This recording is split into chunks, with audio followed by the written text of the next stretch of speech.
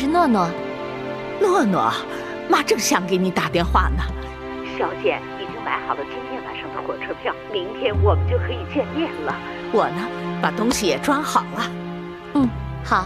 哎，妈，肖剑去接您吗？都说好了，我呢，这不正等着他呢吗？嗯，好。妈，九华山有点凉了，记得多带件外套。嗯，你也早点休息吧。明天你会很累的，放心吧，妈，我知道了。明天见，再见。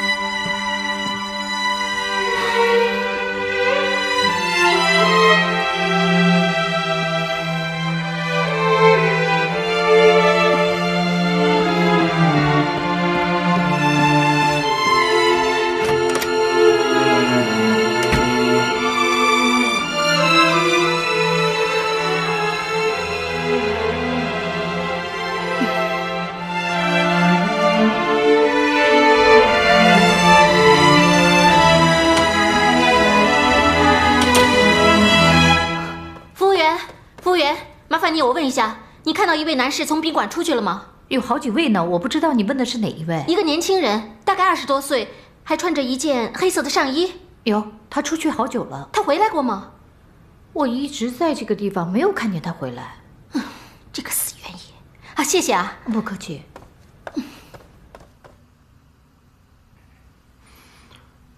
大夫，我什么个情况？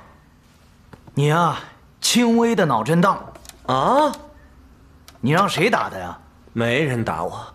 你可以报案了，已经构成轻微伤害罪了。嗯，没那么严重。我呢，我就自己摔的。嗯，这样吧，你在这里观察一个晚上啊。哎，大夫，这……哎呦！哎，韩大夫啊，请坐。啊，好。来来来，娜姐，要不要给你们腾地方啊？我和韩大夫啊，已经聊了很多了，那可以再接着聊嘛。嗯，罗密欧前几天刚刚教会我这个塔罗牌，我是个菜鸟，现在我正好拿韩医生测试测试。哦，对呀，这个塔罗牌我看别人玩过，好像还挺有意思的。哎，那个药你吃了吗？啊，刚刚吃过了。哦，体温记录呢？拿来我看看。好。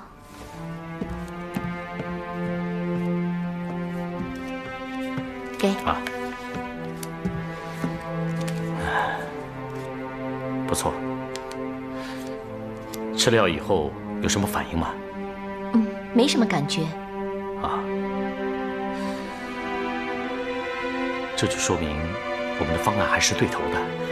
嗯，人逢喜事精神爽啊，一切啊、当然都会正常了。啊，精神是非常重要的。人们常说嘛，疾病像弹簧，你强它就弱，你弱它就强，知道了吧？怪不得在农村，人要真是患了重病，总还要想个办法，办个喜事来冲一下。看来啊，还真是有一定的科学道理呢。啊，精神力量是一时的，贵在坚持。阿姨跟萧剑，现在该上火车了吧？啊，如果火车不误点的话，他们俩应该比我们先到九华山。你看你呀、嘴都合不拢了。韩医生，你怎么连一句祝贺的话都没有啊？祝福，祝贺你啊，陈诺。啊，谢谢。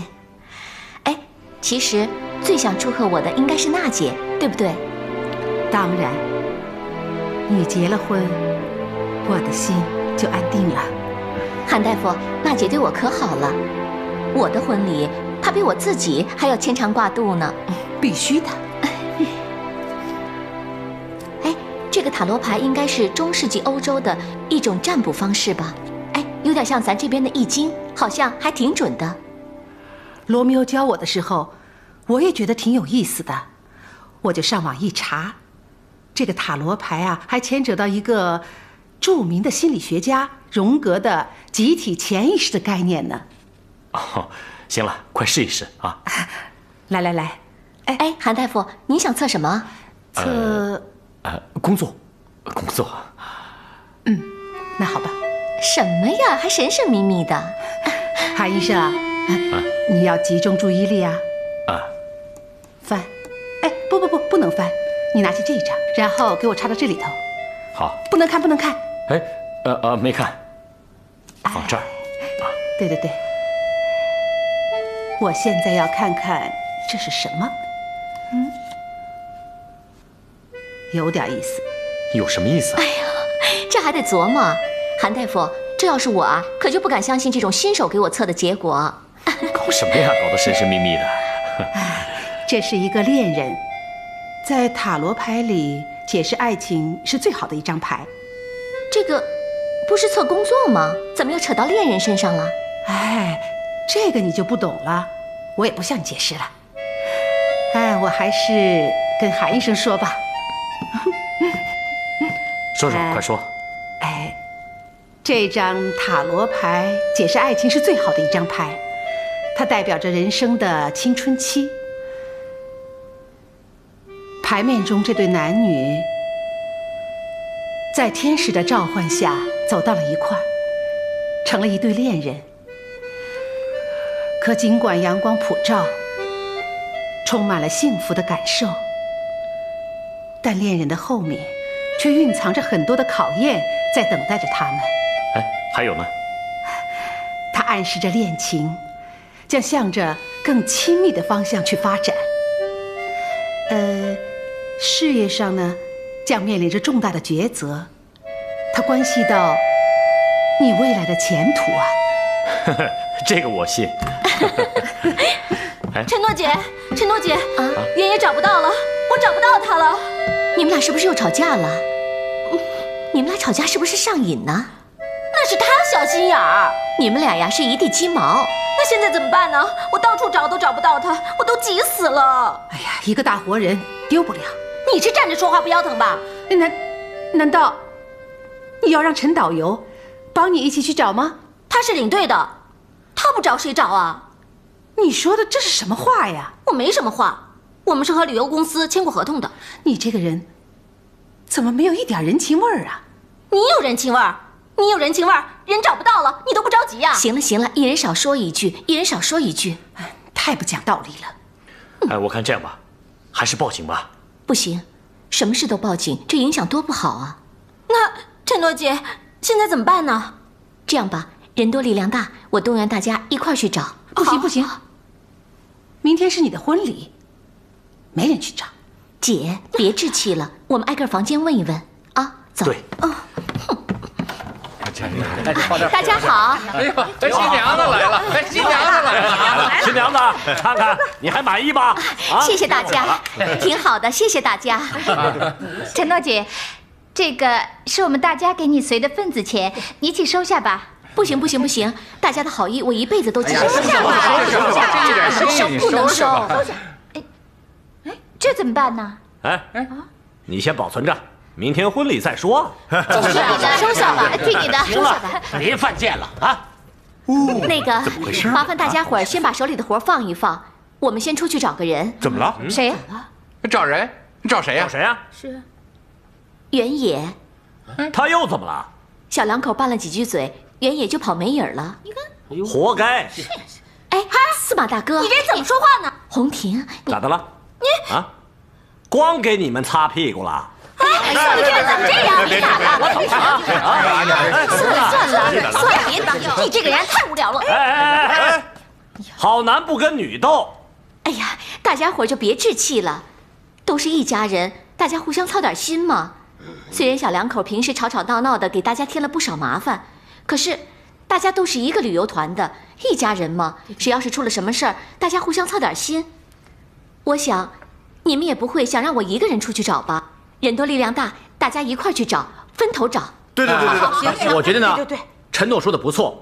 这个司马南也是一时说气话，咱们大家既然是一起出来了，嗯，那就是朋友。对对对，陈诺，你放心，我们大家分头去找，一定能找到。啊，对，好，谢谢大家。陈诺，明天是你大喜的日子，你在家好好准备，我们大家去就行了。对，我们去就是了。没错，你好好准备啊。不，一块去，大家一块去。行了，走走走走走走走走走，行行行，走走走，全哥你哥，走吧，上大好好上。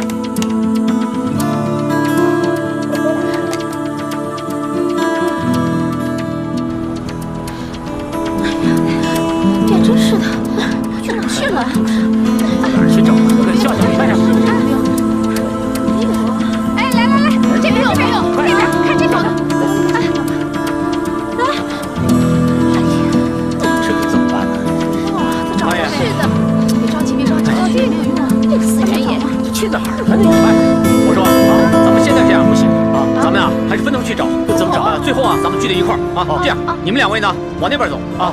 你们呢，去那边。我呢，到那边去。啊，咱们一块儿捡啊！哎，好吧，我们去那边吧。啊，好，那边走。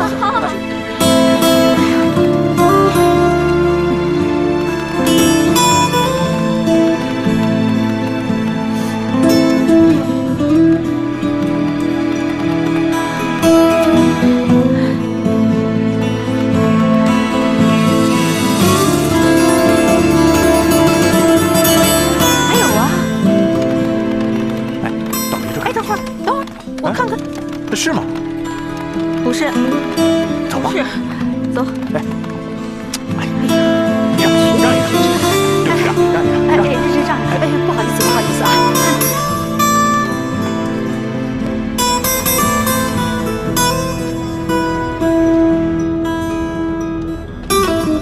原野，李哥，有没有啊？没有。有没有啊？没有。我们再到那边去看看啊！好，好，好，好，好。钱哥，到这边看看。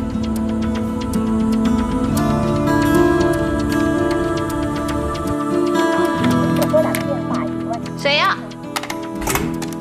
长兰，姐，是我。哎呦，怎么了又？哎呀，嗯来，来，扶着点儿，慢点儿。哎呦，你慢点，慢点。小心点啊！这，怎么回事？慢点。来来来来，快躺下。琪琪啊，咱们把好吃的给陈阿姨啊。四零五，来。陈诺阿姨。哎。嗯。陈诺阿姨。陈导游。诺诺。诺诺。哎。没人呢。嗯。这。这能去哪儿啊？要不然这样，咱们先回房间，待会儿再过来。哎，也好。嗯。走吧，走吧，走，宝贝儿。一会儿啊，我再给陈诺阿姨送来。哎，好。姐，你不是住院了吗？我待不住，回来了。他睡着了，我们出去说话。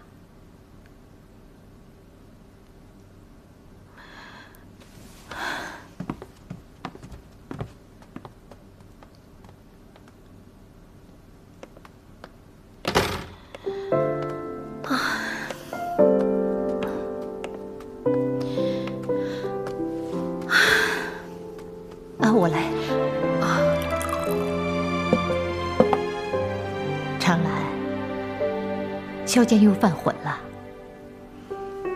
没有，你不跟姐说实话。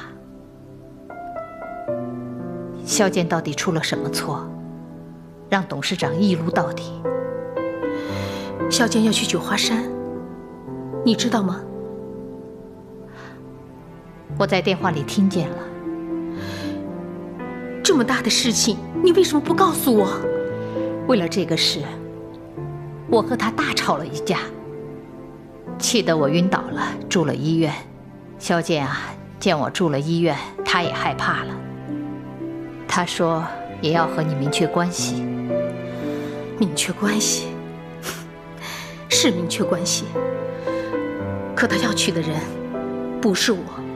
他跟你明确的是这种关系啊？他明确的告诉我，今天晚上他就要和陈诺的妈妈去九华山。不会呀！他跟我说他明天要出差。你怎么这么糊涂啊？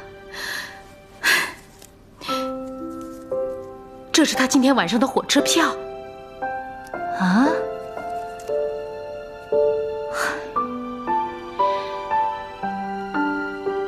这个不争气的东西，他彻底葬送自己的前程。他现在跌落到谷底了，他又想起了我。长兰，你救救他吧！小姐能有今天，他不容易。大人不计小人仇啊！他是一时犯浑，他才做了蠢事。你看在咱们姐妹的情分上，看在你曾经爱过他的情谊上，啊，你就原谅他一次，在董事长面前替他说说好话，保住他现在的位置，好吗？姐求你了，姐，我的心像刀割一样，疼啊！我长兰从小到大还没有受到过这么大的伤害，自尊心受到这么大的侮辱，我这么低三下四的，我在干什么？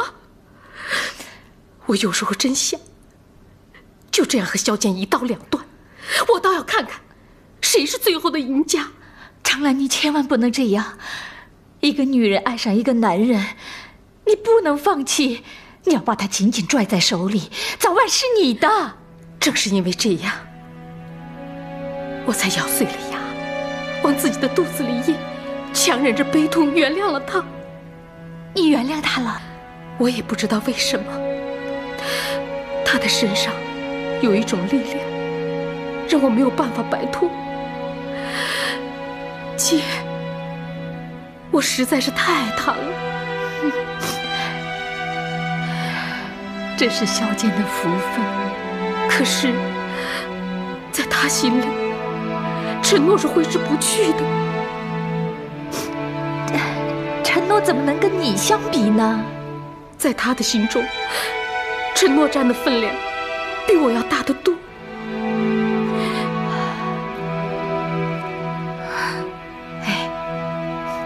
我有一个想法，不知道行不行？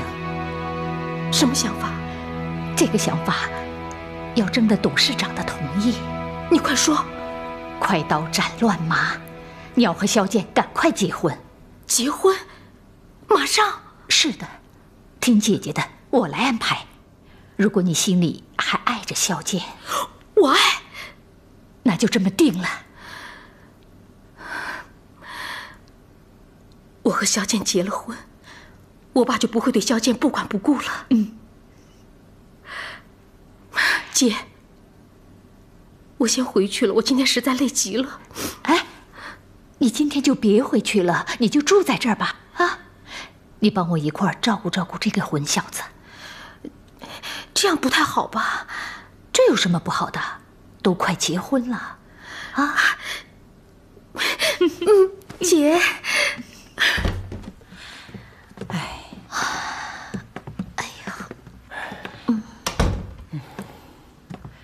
哎，陈诺。哎，你说池州这么大，到哪儿去找人呢？啊，谢谢。我看呢，还是报警吧。就是。嗯。别呀，等司马大哥他们回来，到时候还找不到人，咱再考虑报警的事儿。哎。啊，我去看。哎，来了。这谁呀？哎，韩叔叔，你怎么在这里呀？韩大夫，哎呀，爷爷奶奶，小琪琪，来来来来，诺诺，陈导游，这是我们的一点心意，收下吧。您还买东西了？不好意思啊，实在是拿不出手。陈阿姨，爷爷买的糖是商店里最好的，让您破费了。哎，这结婚办事儿啊，总。总该让大家吃块喜糖吧？是是啊，是吧？谢谢，谢谢。刚才我们来过一趟，屋里没人啊，我们出去找人了。找谁呀？原野小两口啊，又吵架了。哦，他刚才打出租车走了。您怎么知道？我们从商店回来，在宾馆门口碰到他了。嗯，他打出租干什么去了？啊，袁叔叔去医院了。哎，你怎么知道的？我我听见他说的。他是不是病了？哦，对了，我看见他一个人呢，摇摇晃晃的上了车。嗯，哦，哎，红婷，正好，云爷有消息了。他在哪儿？他在医院。走，咱们边走边说。哦，来，哎呀，走吧。哎，我是在，我也去，我也去看看。走走走走走，我也去。护士，请问一下，今天晚上有没有个年轻人来这儿就诊呢？对，穿黑色上衣的。嗯，有，在五号病床，可是人不见了。啊？啊？这会去哪儿了呢？这是啊？哎，大夫，五号床的病人去哪儿了？那个小伙子啊，偷偷的跑掉了。啊？他什么病啊？不知道和谁打架，脑袋上挨了一拳。严重吗？已经拍了脑 CT 了，轻微脑震荡吧。脑脑震荡？没事，不病。轻微脑震荡，睡一夜也许就好了，没多大事儿啊。啊，陈诺姐是这样吗？没事吗？呃，您是北京来的韩教授吧？啊，对呀。啊，我在北京进修的时候听过您的讲座。哦，这么巧啊！你好，你好，难得在这里遇见你啊！啊，是。呃，行，不打扰您了，您先忙吧。这样的，韩教授，我这里有一个疑难病人，您能不能帮着给会诊一下？啊，红婷，我看这样吧。要不然你先回去，我估计原野已经在宾馆了。哦，那那陈诺姐你呢？我有点累了，想歇会儿。我等等韩大夫再一起走。那那行，那我就先回去了。回去吧，注意安全啊！哎，好。怎么了，陈诺？哪儿不舒服啊？啊，没事儿，你先忙，我在这儿等你就行。是早夫人吧？哈，谢谢啊。啊，我韩教授，我我呃 呃呃，韩教授。请吃水果。啊，谢谢啊。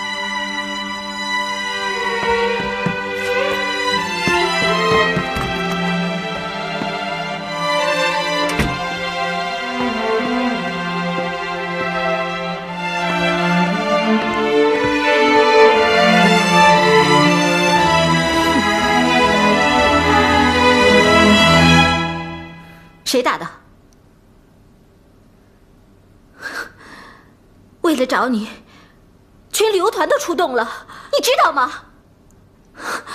乐极生悲。你看看你现在这样子，明天不办个狗屁婚礼啊！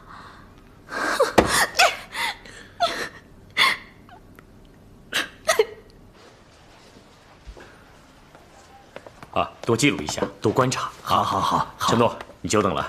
没事。啊，咱们走吧。好。呃，韩教授，您的诊断解决了我们的疑点，大家都纷纷提议想请您做一次学术报告。哎呀，不好意思，这次时间实在是太短了，以后吧，以后找机会多交流。好，好，好。呃，也谢谢您，嫂夫人，让您久等了。不客气。啊，那咱们走吧。已经把车都安排好了。哦，不用了吧？我们走走。听你的。啊，这啊，我们走走好了。啊，行行行，走行走。啊，啊啊！韩教授啊，这次可多亏了您呐。哪里哪里。啊，好了，那我们走了啊。谢谢啊，韩教授。您留步。谢谢了。再见。再见啊啊！您慢走。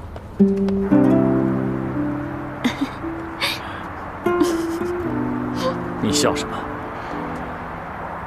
我今天做了一次嫂夫人。他们是乱点鸳鸯谱。我看还是有那么点意思吧，要不然一点谱都没有，他们可怎么点？唉，不高兴了。今天你还是洁身一人，可是到了明天就要花落人家了。不替我高兴？那 我高兴得起来吗？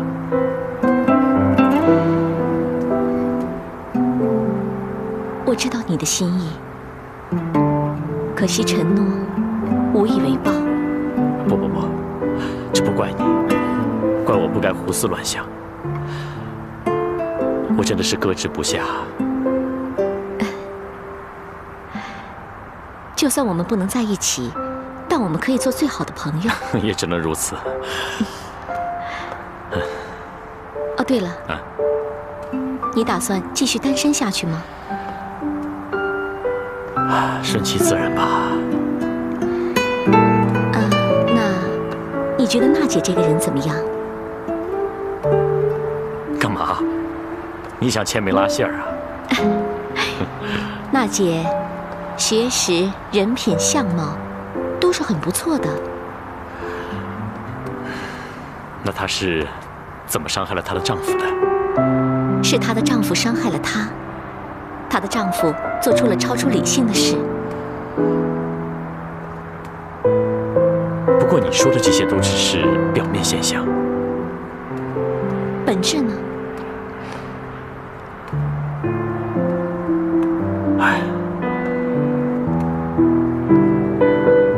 前妻也是一个非常好的女人，可是由于她的冷酷的理性和冷漠的秉性，深深的伤害了我，迫使我走出了这个家门。那她做过对不起你的事情？啊，那倒没有。那她就是个好女人。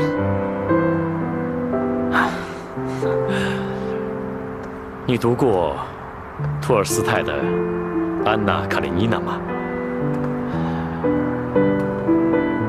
的丈夫沃伦斯基，也曾经是一个非常负责任，又是一个有着严格的生活约束的人。可就是因为他的冷酷的理性，深深的伤害了安娜。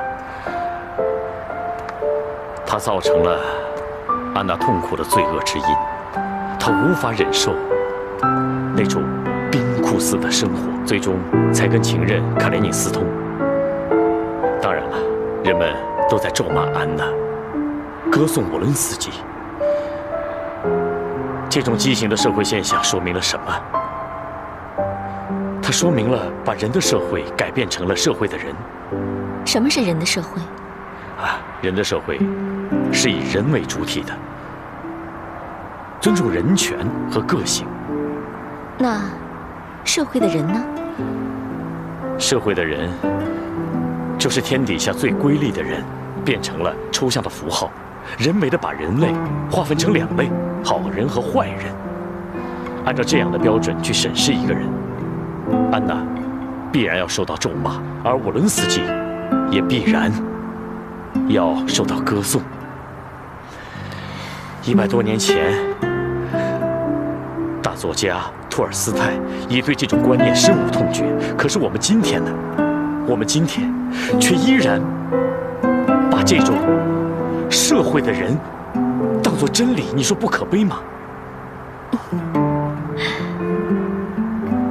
怎么，你不赞同我的观点？我在听，你接着说。啊我是一个曾经有过婚姻的人，我非常渴望真正的爱情，哪怕是短暂的。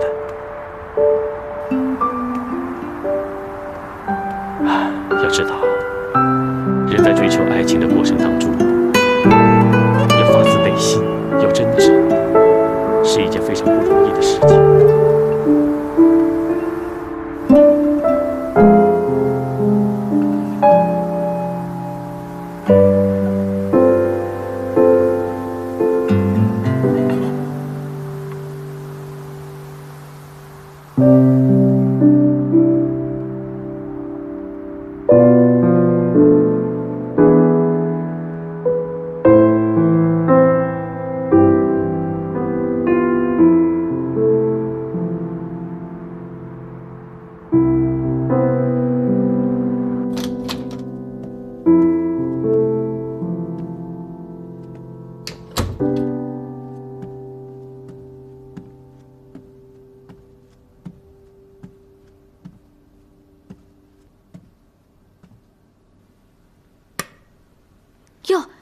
娜姐，还没睡呢。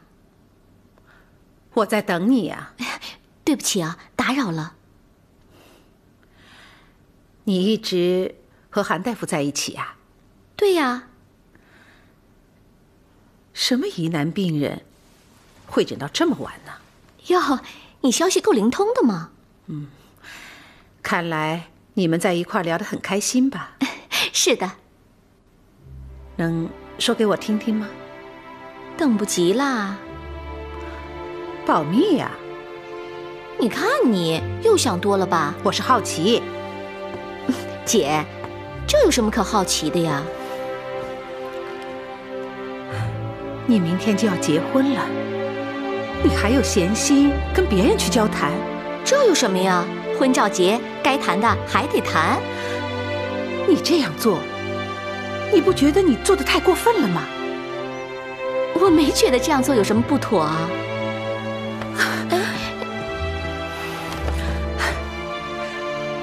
你还记得你曾经跟我说过的话吗？我跟你说过什么了？你真的忘记了？哎，姐，你就提醒我一下吧。你，你说要做我俩的红娘？哦，对对对，我好像是这么说过。你既然说过，怎么出尔反尔的自食其言了呢？哎呀，这不是人之常情吗？我万万没有想到，你怎么会是这种品质的人？那你现在不就知道了吗？恶心。姐，生气了？姐，哎呀，真生气了？还不搭理我了？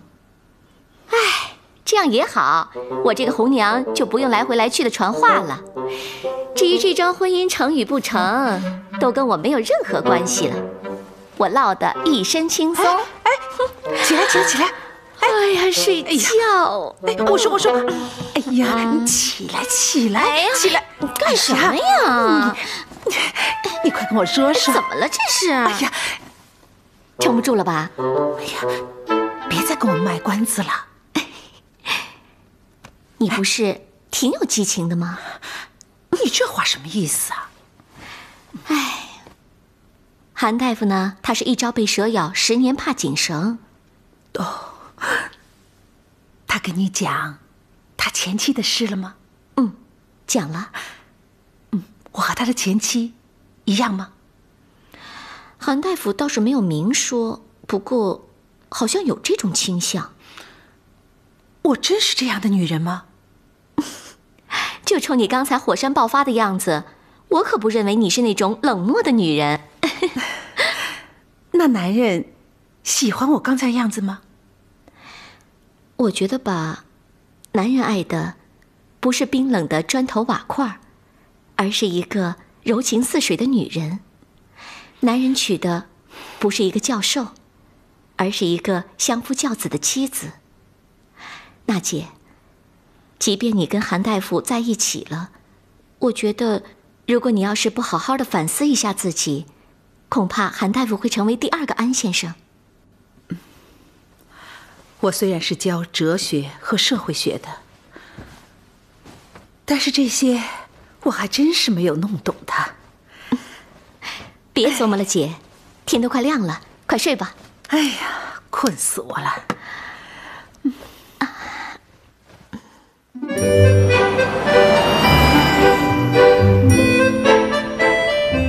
希望大家拿出手中的行程图，我们的下一站是九华山。九华山在青阳县，山的南面是黄山，北面是长江，东临太平湖，西接贵池。九华山在汉代的时候呢，叫灵阳山，然后到了南朝的梁时期，叫做九子山，直到了唐朝才被更名为九华山。灵秀的自然景观瑰丽多姿，九峰竞秀，灵山神奇。更为称著的是，它是我国的佛教圣地。早在东晋的时候，就有一名天竺的僧人怀度到这儿来传经布道，修建了第一个茅草庵。到了唐代，他又被辟为地藏道场。到了明清，达到了一个鼎盛的时期。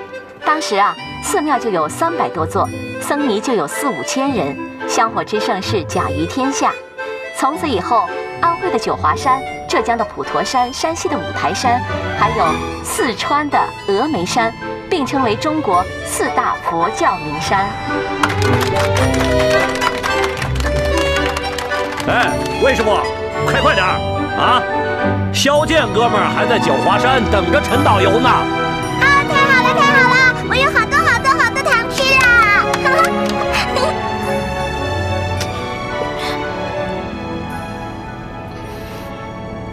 王秘书，董事长，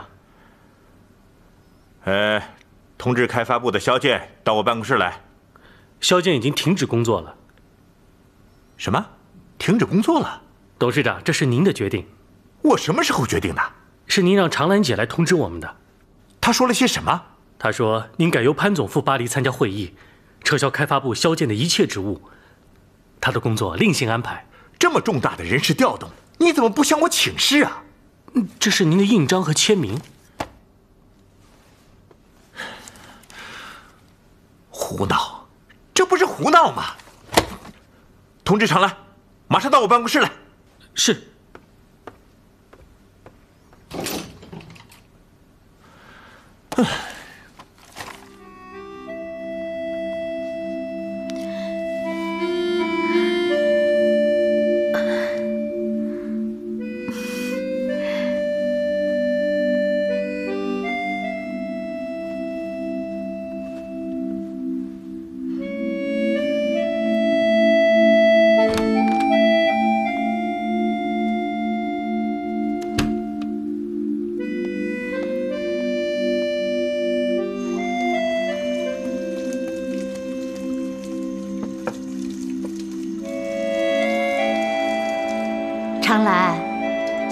完了吃早餐了啊。哎，